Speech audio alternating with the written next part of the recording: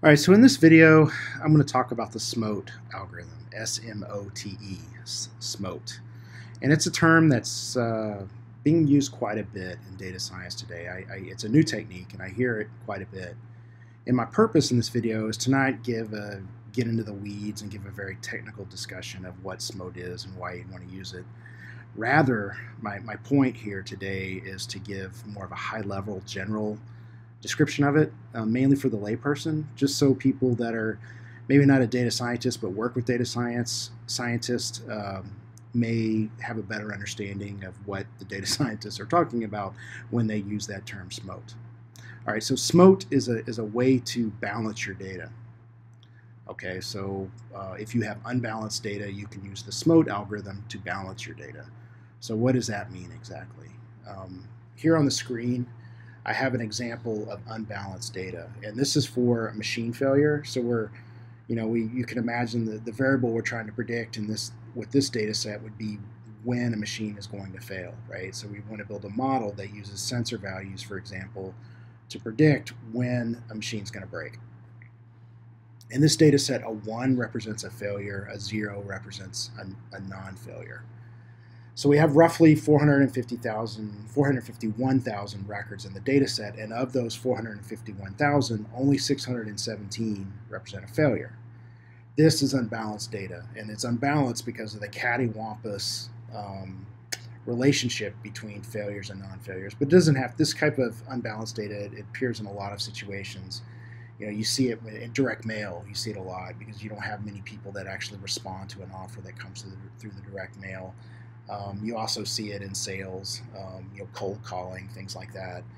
Um, but anytime you have, you know, a, an objective or you have a, a, affirmative response that's a lot uh, happens a lot less frequency than a non-affirmative response, or you have a lot more zeros and you have ones, as in this case, you have an unbalanced data. And by balancing the data, what you're doing is you're making this closer to 50-50. So right now it's like, you know, for every failure, we've got, you know, like 10,000 non-failures or something like that. If it was perfectly balanced, we would have one failure for every one non-failure. So it'd be 50-50. All right, so why would you need to balance your data? Why can't you just build a model on your unbalanced data? Um, the simple answer is, is that you don't have to balance it. I mean, I have built many, many models over the years on unbalanced data that looks a lot like this, and they've worked really well. Um, in fact, some of them were in production, wrapped in some kind of machine learning environment for years and years.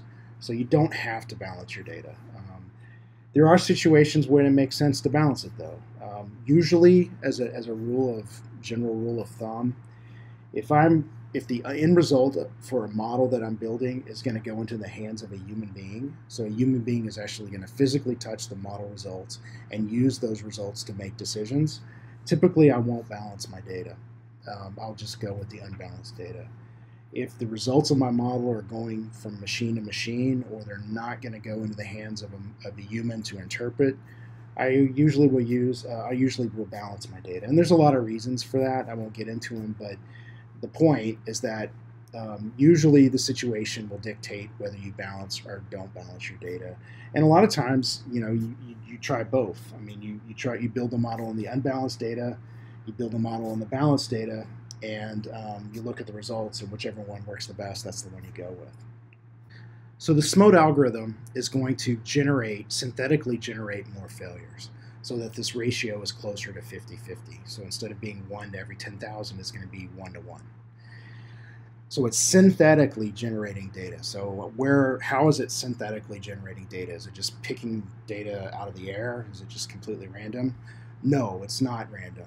The, the data that the SMOTE algorithm synthetically generates should be have the fundamental nature of the underlying data.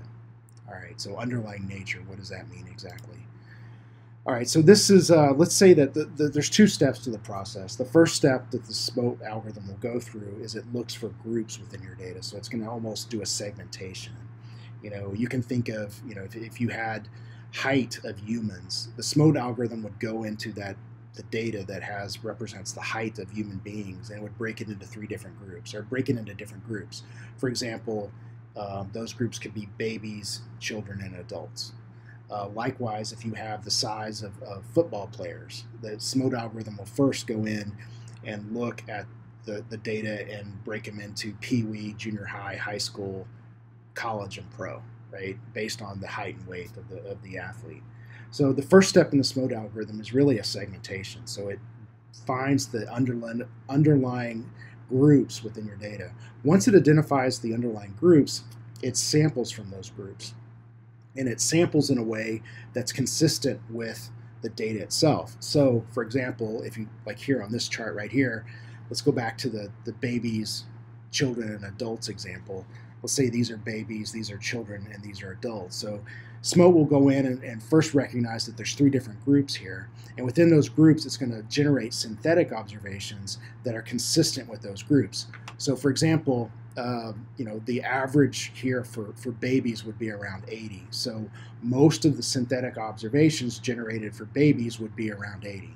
There would be some over here that would be around 90, maybe a handful.